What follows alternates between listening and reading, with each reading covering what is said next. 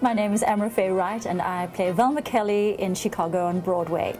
And I have recently returned from Japan where I played the role, the same role, in Japanese. So I'm going to sing a little bit of, uh, of the show for you. It's uh, the song called Class and it goes like this. 愛きなジェントルマンはもういない Dose ladies da te baita nami Gaki wa sugu hitotsuki tobasu Hinga nai no yo They also made me this. It says uh, my name and it says star over there. Actually no, it just says two tu amrafe.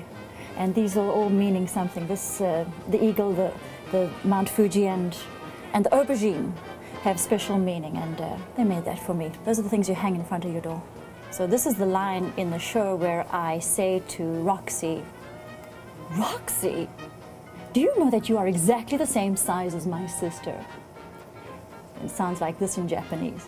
Roxy, あんたうちの妹とサイズが全く同じなのよあの子の衣装全部ぴったりよねえいくつか技を見せてあげようか見てて this is my script. This is what they sent me. Look at this. I mean, it's so used now. Um, but these are my lines. And I had to, it was all done uh, phonetically, but I had to write it out so that I could understand it.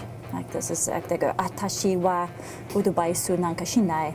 And then I had to rewrite it like that. Akiramenai kono jinsei sojibunga best You notice it's English at the end. so why don't you come and see Chicago? I'll be on stage doing the show, this time in English. And uh, if you are Japanese and you happen to be in the first couple of rows where I can see you, maybe I'll throw in a line of Japanese. I think that's going to stay in my head forever now. See you there.